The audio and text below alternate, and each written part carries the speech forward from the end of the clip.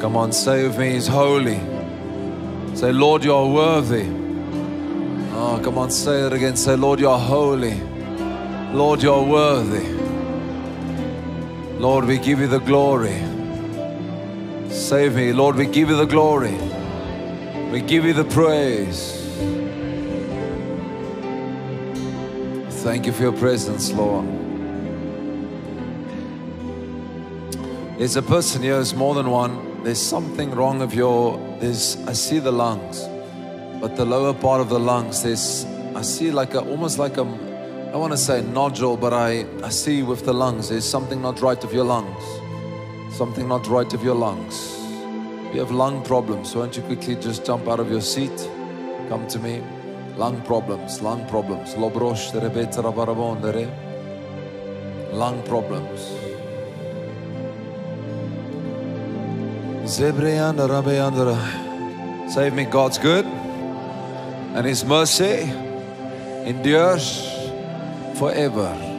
Save me again. God's good, and His mercy endures forever. Lungs, lungs, lungs, lungs, lungs, lungs, lungs. Um, while they're here, there's a person here, it's more than one. Your, I'm going to describe to you what you feel. Sometimes your ears, it goes close and then it stays closed for a long time. And this gives you almost like a headache or a, um, the best way I can describe it is like, it's not just a migraine, but your, but your ears go closed and they stay closed for prolonged times.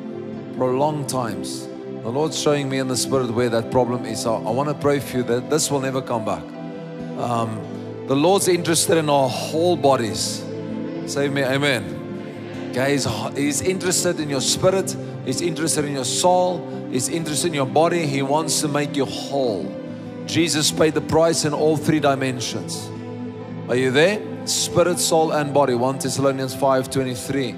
But I want to pray for that as well as I pray for the lungs. Ears, ears, ears, ears. If you have a problem with your ears, your ears go close and then they stay closed. Quickly come to me, please. I am always surprised how much God knows us. He knows the intricate details of your life. Are you there? There's more than one of ears. It's like three or four I saw in the spirit. Um, I want us just to trust God. Saving God's good and His mercy endures forever. As I shared with you last week, Sunday night, I'll share again. Remember, the Lord heals, not sometimes, all the time. Do you agree?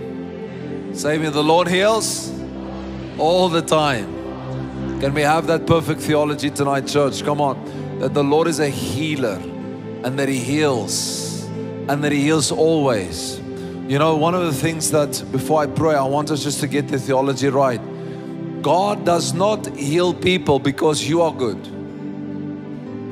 I'll say it again. God does not heal people because you are good. God heals people because He's good.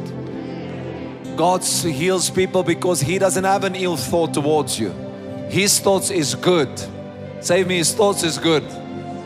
So He doesn't He doesn't count you on the way that you count you.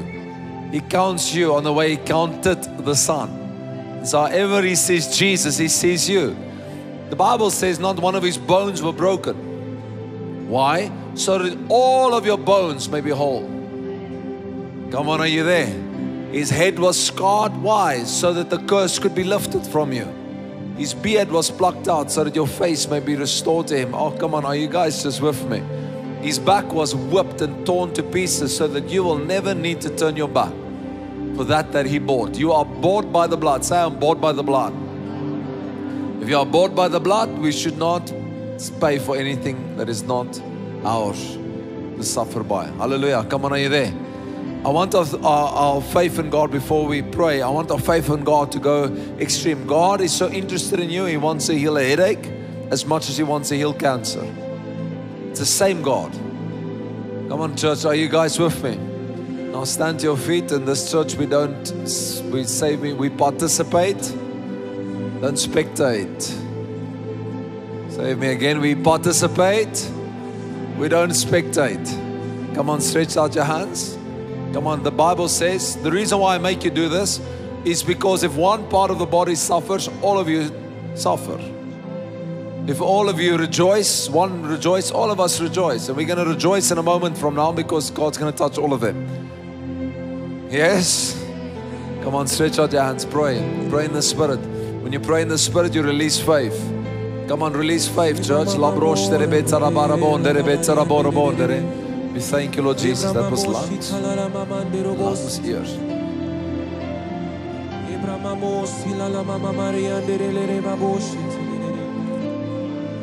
Mama mama sila la mamore mama more na na na re. Ibrama ya setele re babo shikara mama ndere le yasi. Si mama more mama ya shekandara bo setele shetele re re re re. Ibrama mama mo si ya ndere mana na mama mo shikara mama ya.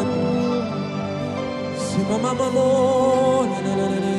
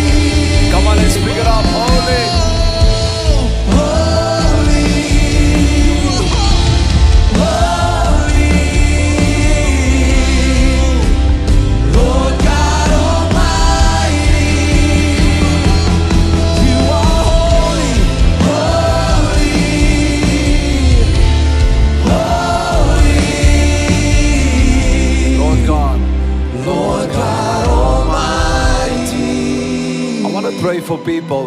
Um, I want to pray specifically, and it might be people online as well. Um, arthritis, lupus, um, rheumatoid arthritis, and any arthritis. What I see in the spirit, I see like your hands were fine, and normally when when this sickness comes upon people, they are they are fine, but they can remember a day that suddenly the pain came. And then that thing just grows worse and worse and worse and worse and worse. And this is one of the sicknesses I've asked the Lord. We have authority over all of them. Are you with me? But this is one of them I've contended for in prayer a lot in my life. And so I believe the Lord wants to straighten your bones. Okay, not a lot of faith. I believe the Lord wants to straighten your bones and take the pain away. You don't need a pill, you need the gospel. Here's the conditions as you come out. Uh, you can remember the day that suddenly the pain was there. Hands, might be knees, might, I don't know. This devil has got a lot of manifestations. But I want to pray with you tonight that, and you have to, as you come out, you, you, must not be, you must not have a mentality that you're going to walk away sick. You must have a mentality that the Lord will heal you on the spot. The Lord heals and His goodness endures forever. It's more than four five people. I saw a few people in the spirit. Come on, can I have the church? Can you pray with me? Come on. These are, it must change like with immediate effect. Just oil. Father, we thank you this night for these precious people, first and foremost. We thank you for their lives. We thank you that they're called. I thank you, Lord, for the power that is upon their lives. Father, I thank you that Jesus is the healer. And Father, we speak first and foremost healing over these bodies in the mighty name of Jesus. And Father, we declare that arthritis will go at the touch of your name upon these people. Father, I thank you as I lay my hands that arthritis will go in this night. And whatever name it has, Lord, we thank you that it bows its name and it bows its effects under Jesus' mighty name. Father, I speak over these areas right now, Lord, that they dry up and they go away in the name of Jesus. And I thank you, Lord, that as the anointing comes upon, it breaks the yoke it breaks the yoke. It breaks the yoke in Jesus' mighty name. May it disappear and never come back. May it disappear and never come back in the mighty name of Christ Jesus. I thank you, Lord, for complete healing. Complete healing.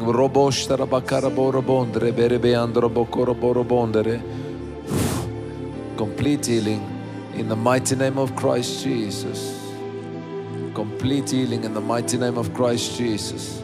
We thank you, Lord.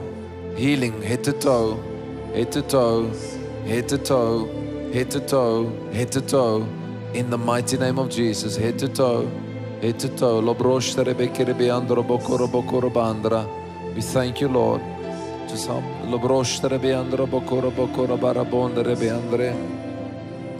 Speak up.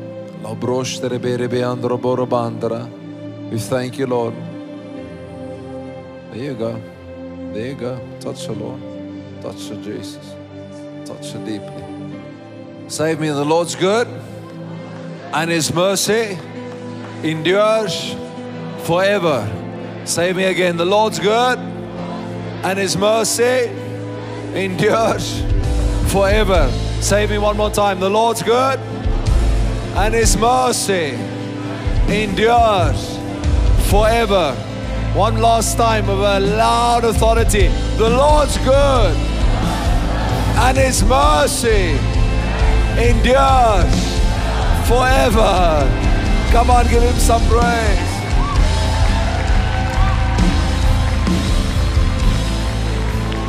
Amen and amen. Well, you can be seated just for a, for a moment. And uh, I well, first and foremost, we're going to baptize people tonight. And uh, come on, give give people a hand that's uh, or give uh, applause for people that's getting baptized tonight. Uh, baptism is so important. Your whole life changes at the point of baptism. Hallelujah. And um, I want to speak to you tonight about the, the Nazarite vow or the Nazarite breed um, as we're leading up into our baptisms tonight. Because again, I say baptism is so vital, so important. It's one of the key things you can do as a Christian. To be baptized doesn't get you saved, um, but it shows you are saved. Let me say that again. You don't need baptism to be saved, but it does show you are saved. Um, and so, if you have not yet signed up for baptism tonight, you are welcome to sign up during the course of our evening. Um, we've got um, a couple of people, 60, 70 people. We want that number to grow to 100, 120, 150, 200. Uh, there's enough space for everybody. Amen. And let me just explain baptism. You can get baptized once, or you can feel that the Lord leading you again to the water of baptism, then get baptized again.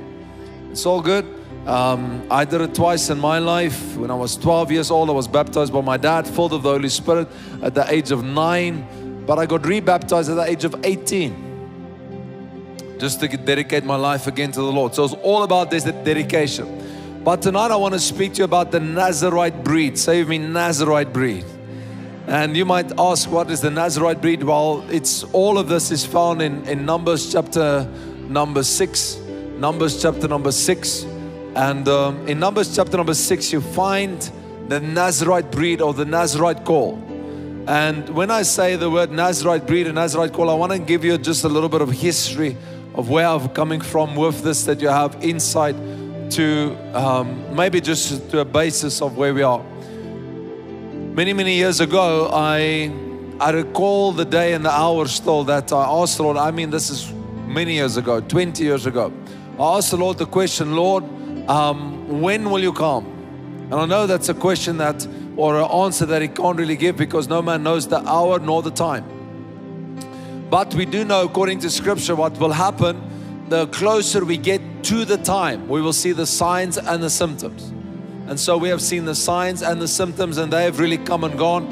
And many people have called this time the latter time or the last days. And really, it's been the last days for 2024 years. And so, but that was a question that I asked the Lord 20 years ago. And the Lord said to me that um, before I come, one of the signs that you will see is there will come a generation that will be filled of the Holy Spirit and with fire.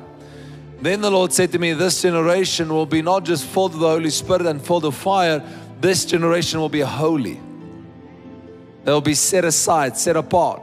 And then, of course, when you when you hear the Lord speak like that in the context of the fullness of the Scripture, because the fullness of the Scripture is important for us to understand the body of Scripture, we have to understand that Moses asked the Lord something, and this was the Lord's Moses' request. He asked the Lord, Lord, place your spirit upon people.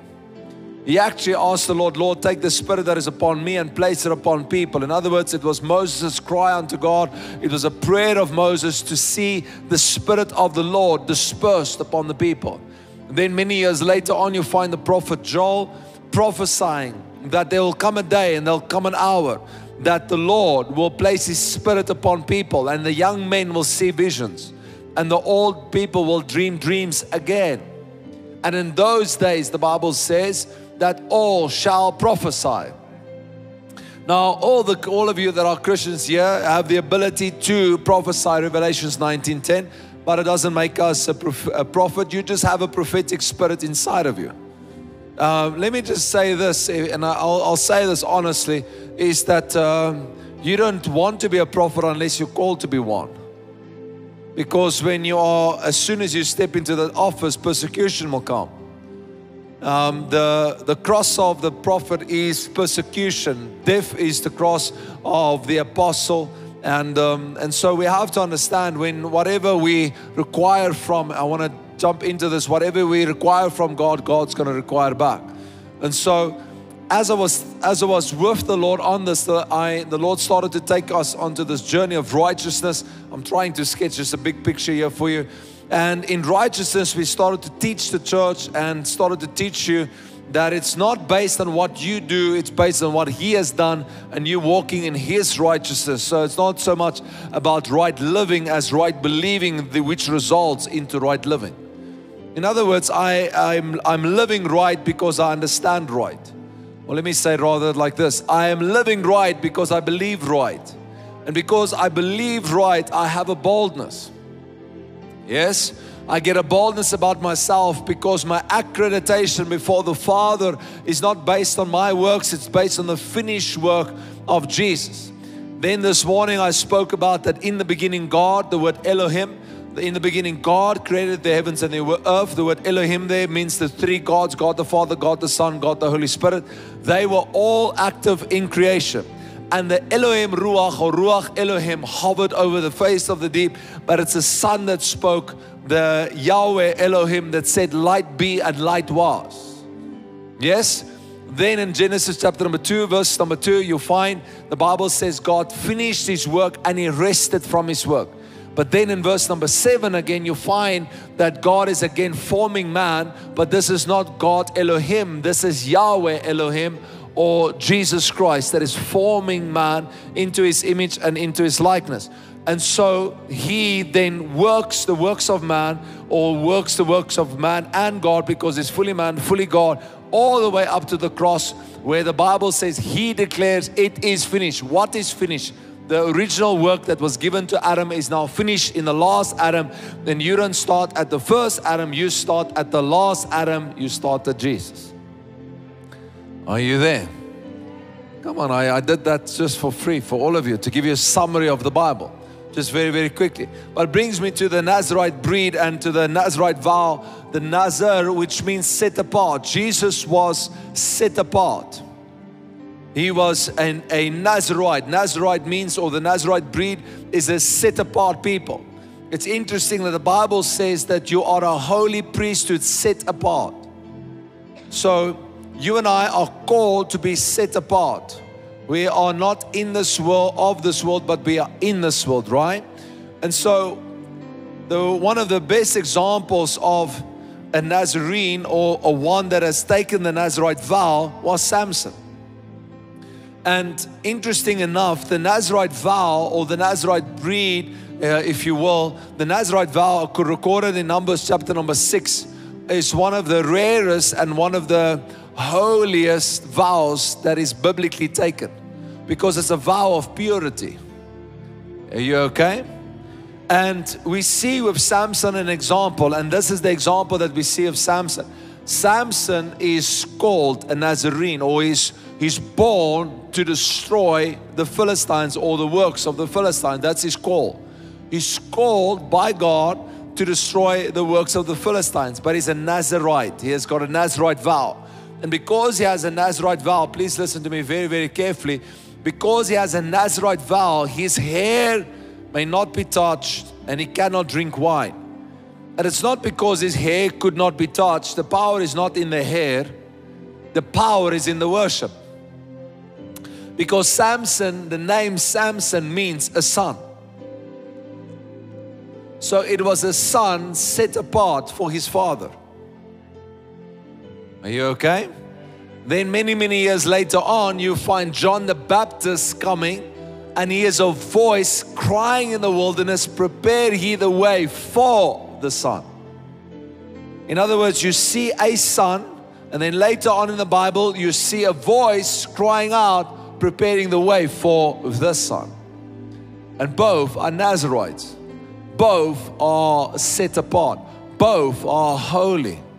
And so maybe I, I can say it like this Samson's life was not one that should have actually been described as a, as a person that was religiously holy because he had the anointing. And here's the big difference. And I want us just to understand that, and I wrote just a note down for you that you will not miss this tonight. Is to be a Nazarite means to be a worshiper. I'll say it again. To be a Nazarite means to be a worshiper. Because whatever you worship, you become like. Worship is not the songs we sing, it's the revelation I have of the all consuming fire God that I serve. Right? And so to worship the Lord or worship is part to be Nazarite. And so what happened to Samson, please listen to me very, very carefully. Samson had the anointing. He was anointed. And I'll shock you with this, but it's true. Samson was not a huge muscular man.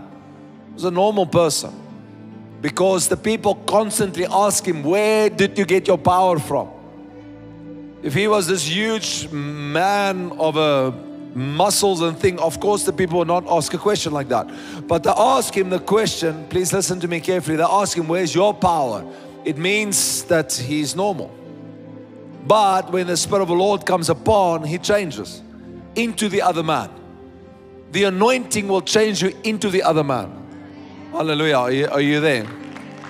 Okay. But the anointing upon you is not enough because it was not enough for Samson. The anointing came upon him, he did great and mighty feats.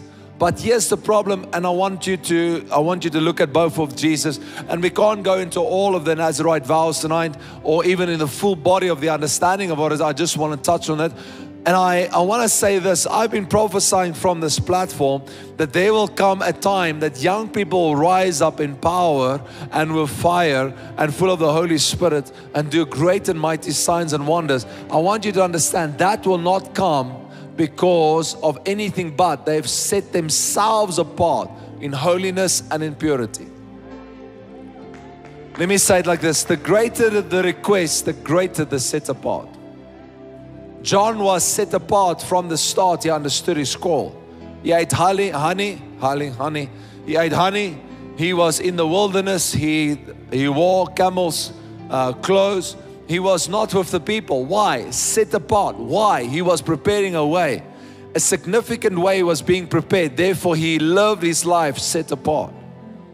Are you there? The Bible says it's not good for a man to be alone. We understand this. But John, the Baptist was set apart because he was preparing a way. There will come a generation in this hour that will say by themselves, We will be set apart and holy. They will prepare the way for the Lord. The Lord is coming not for a broken, busted lip, torn veil, torn dress bride. He's coming for a pure, holy, sanctified, set apart bride. How do we know? Because He's Emmanuel, God with us. He does not want to get you holy by your own efforts. That's the law. He wants to get you holy by you surrendering into Him who is in you. Christ in me, the hope of glory. Are you there? And so, what happens to Samson is really a, a sad story, but I, I want to take one or two principles out of his life. The first thing that we see of Samson is Samson is alone of Delilah. Yes? There's a principle here for us isolation leads to desolation. Nobody is called to function in isolation. All of us are called to function as an interdependent body. Christ is the head, all of us are assigned a position and a part to play. That's why you're not here to compete, you're here to complete. Yes? Okay? Now, the first thing that we see of Samson and Delilah, they are uh, isolated. It's interesting for me that it is the nature of the devil, whenever he's about to take you out, he removes you out. Come on, are you there? Because he always attacks like that. Why? It's his nature. An orphan wants to make other people orphans because he doesn't have a family. Come on, guys, don't look at me so holy. The enemy doesn't have a family. Everything he has, he doesn't have anymore. He needs, are you guys okay? So we see of Samson and of Delilah, we see isolation. First mistake. Second mistake, Samson is used to the anointing. He's not a worshiper. Because when when when Delilah, she makes him tired. And by the way, um, the enemy does not attack, and it's not about the enemy really. I don't even want to focus on Satan, but I'll just say this by the way. The enemy does not come to you when you are strong, he waits for you till you're weak. So when you're weak, he asks the question again because it's in his nature, the word diabolos, devil, it's in his nature to ask the question multiple times and then to wait for an opportune time. And when you are weak, he comes and asks the question again. Therefore, you and I have to say, when I'm weak, yet I am strong. Because it's your weakness that qualifies you for greatness. I'll say that again. It's not your greatness that qualifies you for your weakness, it's your weakness that qualifies you for your greatness. Because right through the Bible, God uses ordinary people to do extraordinary things because He's the extraordinary God that wants to have extraordinary results with ordinary people. And that right for your Bible, you see that example. And so, what happens to Samson is first and foremost, Samson, very, very simple. He, please listen, is isolated. Isolated. Isolated. And in this hour, please don't get isolated because we have a job to do, as I said this morning. Jesus Christ, the Bible says, and God the Father finished His work and His Sabbath. The reason why God rested is because He finished. Later on in the ministry of Jesus, they asked Jesus, Why are you not Sabbathing? He makes this statement. He says, Man was not made for the Sabbath, but Sabbath for man. In other words, God Sabbath because man should, was supposed to be working. But because man was not working, God, Lord Yahweh, stepped out of Sabbath and started to work so that one day in the future He can hang on the cross, finish the work, and you and I could be filled with the Ruach Elohim, and you and I can go to work. So that the Son can sit at the right hand of the Father, rest from His work until such a time that the Father makes His enemies His footstool. These enemies is made his footstool past, present, and future based. That's why salvation is justification, sanctification, glorification. It's three dimensions. Are you there? Everything is, but it's still going to be, and everything that's going to be was already. Okay, you'll need higher grade for that just for a moment.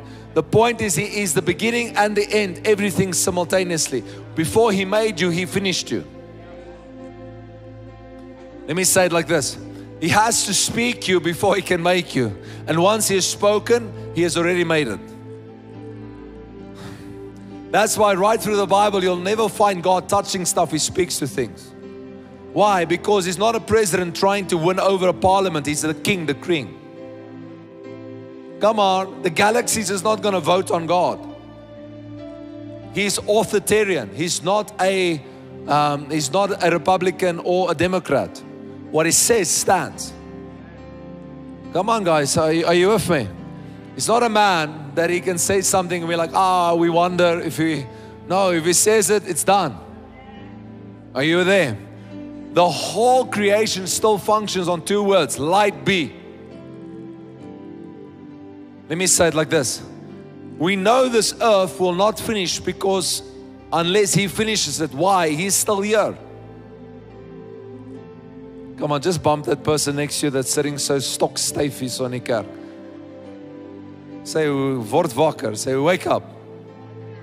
Okay, so Sam, Samson, Samson was, please listen to me, Samson, he was a man that had a huge anointing, but he was not a worshiper. David was a worshiper. I want you to note the difference between the two. Samson was had a massive anointing upon his life. Huge. But he needed to actually destroy the works of the Philistines. But he did not because he could not control his heart, nor could he control his flesh. Are you there? And so he went to a place outside the reach of his own family. Okay, it's going getting quiet. Okay? How do we know? Because it's simple. They tell him, listen, Samson, don't marry Delilah. They are actually saying to him, don't go outside of the covenant. Because the covenant that the Lord had of his people was a place that Israel had the victory. Come on, are you guys okay? Samson goes out of the place of worship. Are you guys getting what I'm saying?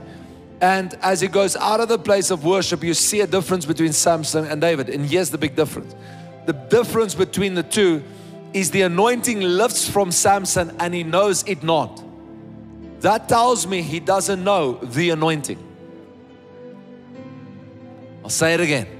The anointing lifts from Samson. He knows it not. Because he awakens and he wants to do that what he has always done, but now the anointing left. Are you there? And they pluck out his eyes, they bind him, they put him to a mule or, or to a grinding, a grinding, uh, a grinding post, and he does what the donkey is supposed to be doing. But God has mercy. You see, God is great. Say me, God's great, and His mercy endures forever. Okay, now what happens of Samson? Samson's story, thank God, doesn't end with the grinding mill because the scripture puts in for us in Judges 16 that his hair began to grow again. That's a shine of mercy for you. It's a showcase of mercy. It's a showcase of grace. And then Samson, right at the end of his life, and I'll go to David now. Samson, right at the end of his life, when his hair began to grow again, remembers God. And Samson cries out to God and he says, Lord, remember me one more time. And the Lord says, Of course, I'll remember you. And Samson destroys in his death more Philistines than what he did in his lifetime. So he ends well. Save me this morning. I preached about finish well. Save me, finish well. So as Samson finishes well, and here's the amazing thing about God God almost like blots out all of his failures. And in the New Testament, in Hebrews chapter number 11, just writes Samson in as a hero of the faith. Amazing grace. Samson should not be there. He actually failed. But did he? Question. According to our standards, he did. But God gracefully writes him in at the end. Sarah is another example. When the Lord says to Sarah, You'll be of child, Sarah laughs. She's like, Ha ha ha, whatever. Who's going to do it, Lord? And the Bible does not write that in for you in the New Testament. The Bible says in the New Testament, Sarah believed the Lord. She laughed at the Lord. But here's David. Let's look at David for an example. David, when he sins, he knows the anointing is about to lift. How do we know? Psalm 51. He starts to cry out to God. What is his prayer? He says, Never remove your spirit away from me. Why? David understood a secret. As soon as the spirit of the Lord lifts, he is finished. Come on, are you with me?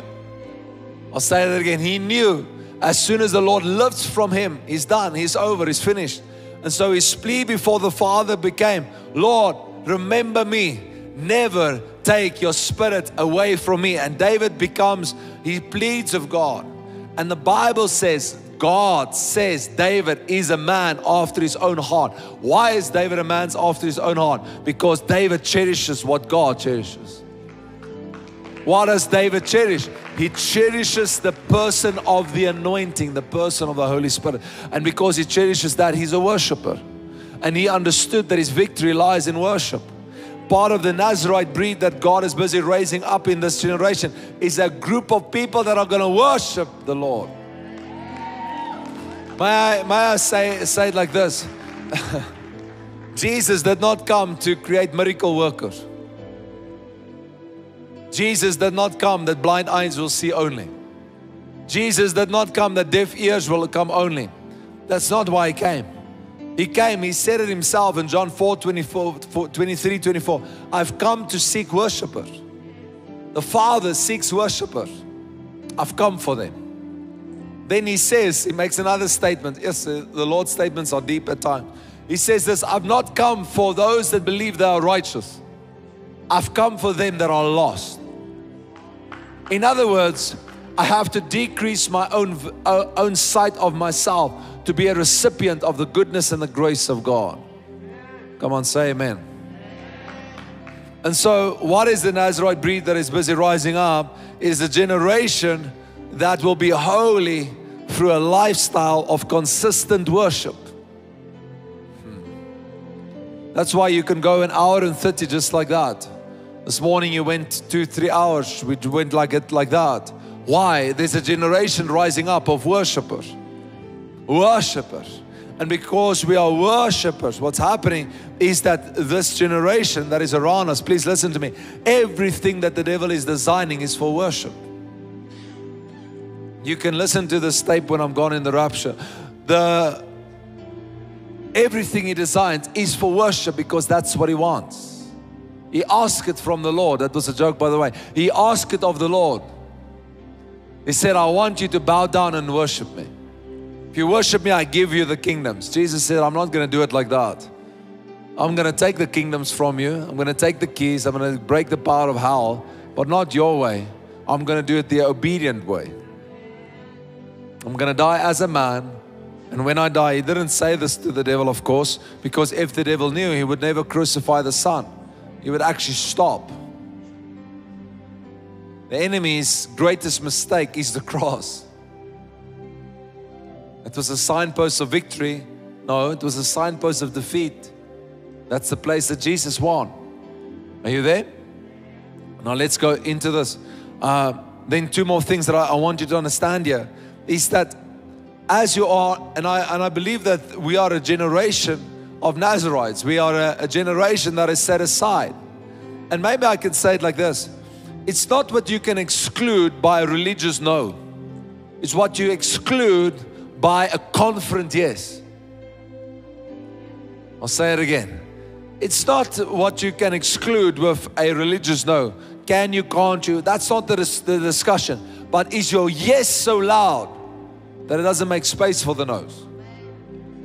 Come on, guys, are you okay? Are you hearing what I'm saying? It's not the question, can you, can you not? No, the Bible says that you, let, let your yes be so loud that it doesn't make room. Now, of course, we can say tonight, but in this few statements that I've got left, you can say, but I, uh, it almost sounds like a little bit extreme. Well, the cross is extreme. You can say, yes, I, don't know if I, if I'm really there that I, let, let me say it like this. The devil is not impressed with how loud we pray. Your enemy is not impressed by that. He watches your lifestyle. He looks at you. And through a lifestyle, you have a reputation. And the reputation you gain in the spirit is what the spiritual world looks at. It's true. That's why if you see us struggle for 10 hours of devils, that means you don't have a reputation in the spirit. As soon as you get one, and the best way to get one is worship the Lord. Come on, say amen. Okay, I don't want you to freeze to your seat. It seems like you guys are struggling. So, I'm going to have three more points that I, I want us just to understand this. Point number one as you get baptized tonight, you must know it's your soul announcing to heaven, I'm here. You are making an announcement that you have accepted the Lord Jesus Christ as Lord and you are getting through that waters of baptism and you're going to get out on the other side and you're going to live for Jesus. It's a holy thing. And I, I really believe, listen to me, that proximity equates to lifestyle. Say amen. Your proximity equates to lifestyle. In other words, when you when you live close to the source, your lifestyle shifts and changes. Not because, listen, not, not because you have this set of rules of do's and don'ts. No, it's because you are closer. And the closer you get to the Lord, the more rules change for you. It's not that the rules change, it's the way that He reacts that changes. How do, you, how do we know? Good question. Thank you for asking. I'll answer. We know it changes because the Israelites are very close to the Lord on the Mount of Sinai. They see His glory, they see His miracles. Now they are worshiping a, a golden calf, and God makes a judgment call. He says, You stubborn people, you will stay here, and I will not change my word, but I'll change the time for the fulfillment of my word. And these guys, they stay in the desert for all of their life. So from three with the Mickey Mouse t-shirt all the way till they're dead. Then the Lord chooses a new generation. And so I want us to understand. Then secondly, when you get baptized tonight, you get the awesome opportunity, and this is what I'm going to pray for, for you a bit later. You get the opportunity to be part of the family of God. You get baptized into God's family. Come on, are you there? And by the way, we are the biggest family on the planet. The Bible says in Romans chapter number 6, verse number 4 For therefore we were buried with him through baptism into death, in order that just as Christ was raised from the dead through the glory of the Father, we too may live a new life. So after you get baptized tonight, you're going to live a new life. Why? It's part of purity, it's part of holiness. Then I just want to emphasize it again because I get so many questions on this. Baptism, baptism does not save you. Only your faith in Jesus can do that. Ephesians 2 8 and 9 says this For it's by grace you have been saved through faith.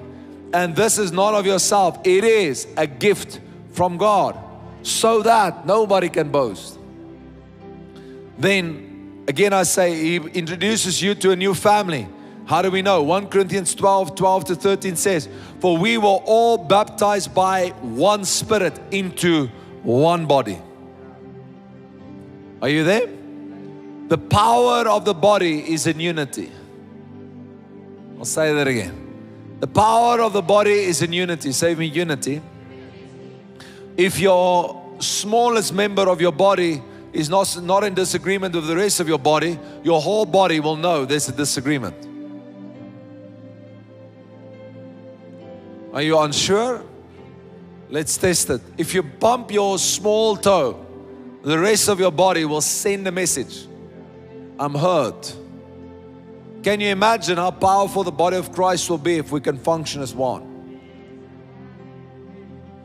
Are you there? So, what does the devil do? He just delays people and he makes us go around this long search for ourselves, believing that somehow that the longer we look into ourselves, we're going to get an answer. May I, I help you tonight? There's no answer inside of you, there's only a answer, and He is a person. His name is Jesus. Stop going around that mountain. It will it will tire you. I don't know for you, but it, it tires me. I I don't do that anymore. I don't go around this mountain. What did they think? What did they say? How does this work out? I don't ask those questions. I couldn't care. Why? I have a task. You have a job. I have a job. We have a fulfillment to do. We need to get the job done. Are you there? Don't waste time. Say me, don't waste time. And so, what we see of Samson, before I'm going to call out the people that are getting baptized, when we when we see Samson, we see a man that had the anointing upon him, but we see also a man that the anointing was not enough. You needed more. He needed more. He had to actually had a relationship with the anointing. Because once you have a relationship with the anointing, you will know when He leaves or when He loves. I want to say this and I'll, I'll, I'll close of this. Then I want to call the people out that are getting baptized. The Holy Spirit can never leave, He's a permanent indweller. But what He does do, He lifts. How do we know? He can be quenched, He can be grieved, He can be vexed, He can be blasphemed. And so, what he often does, if we don't have a relationship with him, what he does, he lifts. He does not leave, he lifts. That's why the Bible says the Holy Spirit came and remained on Jesus. If he can remain, he can also lift. And the focus is not when does he live, the focus should be how can he remain. Let me say that again. The focus should not be how can he live, the focus must be how can he remain. Good question. I'll answer. The way that he remains is if you remain in the word. Abide in me as I abide in you, and you can ask me anything in my name, and I shall do it for you. So, how does the Holy Spirit remain in you and remain upon you? You must remain in the Word. Yes? As you remain in the Word, you can't remain in your opinion, you remain in the Word. And sometimes, even though we are in 2024, this Bible is not that commonplace, or let me say it like this this Bible is not so popular anymore because it challenges the hearts of men. May I say, this word has not changed and it will never change. It cannot change. The earth may come and go, but the word of the Lord will remain the same. I'll say it again. The earth may come and go. This Bible will stay the same. Will not change for us, will not change for our circumstances. It is the eternal, infallible, perfect, breathed upon word of the Lord. It stays the same. But there's a call for God, and I believe it prophetically speaking, that there's a Nazarite call upon the planet. And if we don't answer it, there's a generation that will answer it. It's either going to be the Gen Z generation or the generation that's before them, but a generation will answer it and will say, Yes, we are holy, set aside, set apart, called for a time such as this. Come on, are you guys there? There has to come a generation that are not, not familiar with God, but fears the Lord. And what I'm saying to you is not new, but I'm telling you that there is, as much as God is putting His hands upon ordinary people to make them extraordinary in this time, and there is a rise of prophets and apostles and pastors and teachers and evangelists. I like what one of my friends says. He says this He says, We should not be impressed that you are a prophet or an apostle or a teacher or evangelist. We should be impressed. Can you bear fruit according to your kind? So, who have you raised up? Who have you planted? Can you teach the word? Are you there? And so I want to encourage you that there's a whole generation that is rising up. And that's why we need to know this Bible. Come on, say amen. Okay. And what I want to uh, encourage you tonight for is this say amen. God's good and His mercy endures forever. What the Lord wants to do, the, the heaven is celebrating when people gets baptized because we're adding. We're adding to the body, right? And so tonight, the worship team, you guys can come. I want to call out every single person that's getting baptized. Every single person is getting baptized. And as you come tonight, what I want us to do, we're going to do it in, in two phases tonight. One, we first and foremost celebrating that you are getting baptized. But secondly, we want you to renounce this world. We are not of this world. We're in it, but not of it. We are born of God. We are reborn. We have the Holy Spirit living inside of us. We believe that Jesus Christ became flesh and dwelled amongst men. We believe that He went to the cross, that He died, and that He rose on the third day. We believe that He descended into hell, that He took the keys of hell, Hades, and the grave and he is seated at the right hand of the Father, and he is coming back. We believe in the triune God God the Father, God the Son, God the Holy Spirit. We believe in the Old Testament and in the New Testament. We believe in the New Testament you are saved by grace and grace only. We believe that marriage is holy, set aside by the Lord between a natural man and a natural woman. Come on, I can go on and on and on. But when you get baptized, you are getting back to, baptized in something that is holy. Come on, are you guys okay? We have to know what we stand for. Unless we know what we stand for, we will fall for all things. No, we stand for holiness. We stand for purity. We stand for being set aside. We stand not for the standards of this world. We are made different. If we look like this world, we will have no power to save this world. The only thing that you can do like this world is dress better than them. I'm teasing, that was a joke, by the way. But say amen. I want the people that are getting baptized tonight, I want you to jump out of your seats and come to the front. And as you come to the front tonight, um, everybody that's getting baptized, quickly jump up. You all have time to, to go back to your seats. And uh, won't you come out here to the front for me, please? I want the whole church to stand. Come on, come on, come on, come on. Let's celebrate people that are getting baptized.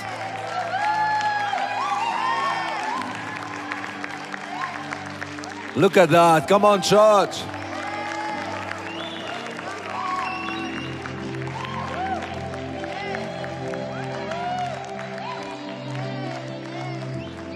Come on, won't you give them a bigger applause?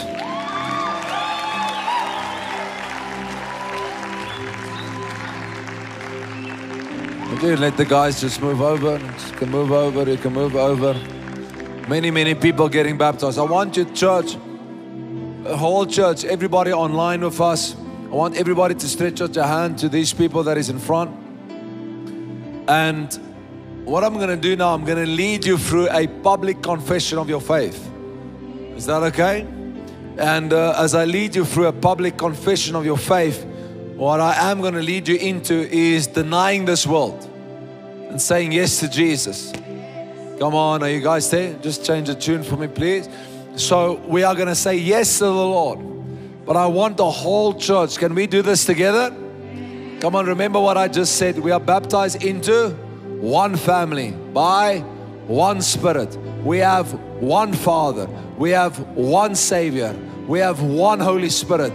And we have one eternal home. We don't have many. Hello, are you there? There's not five heavens, there's just one. So learn to like your neighbor. You might be with them forever. If you don't like them now, there might come a time that God places you next to them for ions of years, like millions of years. Every morning, that same voice. Good morning, Charles. That same voice. So get to love your neighbor. Yes, it's true. Okay, everybody here that's in front, everybody online save me, I believe in God, the Father Almighty, Creator of heaven and earth, and in Jesus Christ, His only Son, my Lord, my God, my Savior, who was conceived by the Holy Spirit, born of the Virgin Mary suffered under Pontius Pilate, was crucified, died, and was buried.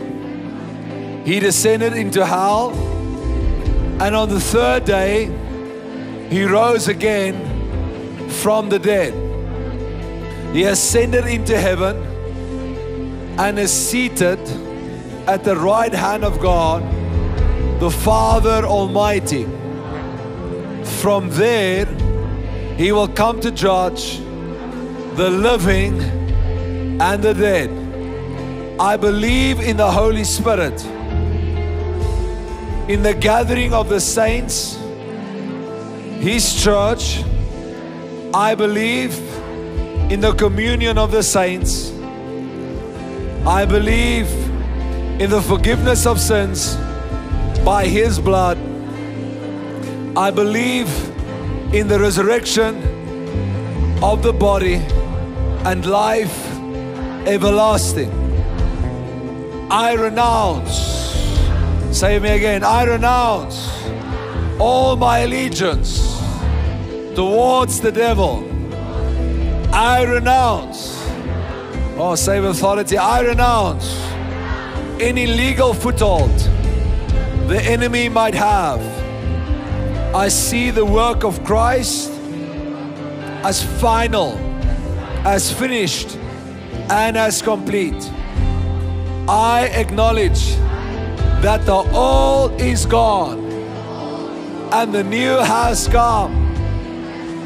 I receive His word and His promises over my life. And as I enter into His life, for my life. I choose by my free will to give my life to Him and Him alone. I renounce this world and its fleeting offerings, and I receive His word for my life. I place my full confidence in the blood of Jesus by which I am, I am, I am accepted by the one that sits upon the throne, both now and forevermore. the eternal God, Jesus Christ, my Lord, my Savior, my Redeemer. This is my declaration. In the name of Jesus, I pray. Amen. Come on. That's so good. That's so good. Come on, let's give Jesus some praise.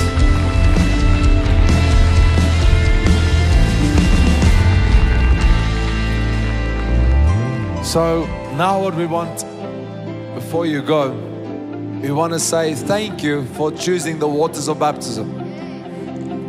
It's one of the most beautiful uh, things that you can do as a believer. And there's something I believe that God wants to do for every single one of you tonight. Amen. If you believe in Jesus, Jesus gives you the gift of the Holy Spirit. It's a free gift. We get it freely. And tonight, when you go through the waters of baptism, it's one of the things they're going to pray for you for. And say, when you go through the waters of baptism, say, Lord, thank you for the free gift of the Holy Spirit. Amen. Would you lift your hands? Everybody in the church, would you raise your hands out? Just want to bless them. Father, we thank you that in this night, Lord, I can look at your people tonight and see all of these people getting baptized.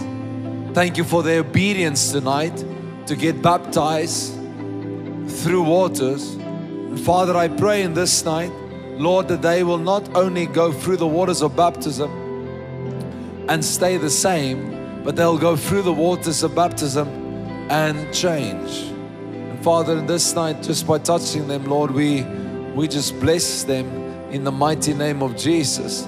And we thank you, Lord, that as they go through those waters of baptism, that everything shifts and changes for them. Thank you, Lord, that the old man is gone, the new man has come in the mighty name of Jesus. Thank you, Lord, that they are your sons and your daughters, born from above, born anew, born afresh. And Father, I thank you that we, the church, can welcome them home and say, You are home now, and you are safe, and you are part of the family of God. And Father, I thank you for your grace over their lives. I thank you, Lord Jesus, that all of them are saved by this marvelous thing called the grace of God. Thank you, Lord, that they don't need to labor to enter the rest, but that they can walk into the rest of God because they've chosen the Lord in Jesus' name. And I thank you, Lord, that the old things are gone and the new things have come in Jesus' mighty name. Father, I pray tonight, Lord, for every single one of them, so many, Lord. I thank you, Lord, that tonight a beautiful transaction happens between heaven and earth where they are announced. Father, in this night I pray as they go through the waters of baptism, announce them, Lord. Announce their souls. Announce them, Lord. Lord, we as Empower Church, Lord, we celebrate their decision and we thank you, Lord, for their lives. But this night I pray, announce them, Lord. I pray in Jesus' mighty name. And all of God's people shout. Come on, say amen again. So as you go to your seats, we want to celebrate your church. Won't you celebrate every single person as you go to your to your seats tonight? Can I ask the whole church to stand? I'll need one more of your minutes, and then we're gonna go to a baptism tonight. This is the best burial that you will have. Come on, say amen. It's the best one that you're gonna have because this one, the old man, stays behind and the new man has come. Tonight, before we go to baptisms, and I, I want to ask every single one of you take time and come with us to the waters of baptism. Take time and go see how people get baptized. We're going to do it there in the minor hall. You would see there was many people here in front. It's beautiful to see people walking out in obedience. Come on, say amen. And as the family of God, we have a lot to celebrate tonight. We have the privilege to go and celebrate tens and tens of people saying yes to Jesus through baptism. Hallelujah. Before we do so, and for everybody that's with us online, just one thing from my side is I want us to honor the Lord just of our giving before we're going to go through, and then we're going to all go through and celebrate our brothers and our sisters. Hallelujah.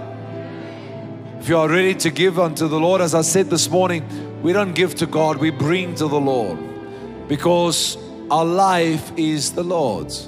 And so, as you bring your tithe, as you bring your offering tonight, know that you are bringing something. And, um, and more than that, I want to pray for you that as you bring your tithe, bring your offering, the scriptures declare in Malachi chapter number 3, there will be an open heaven over your life. Secondly, the Bible says the righteous never beg for bread. Are you there? The righteous never beg for bread. Say amen. The righteous never beg for bread. You have bountiful supply because you're in the kingdom.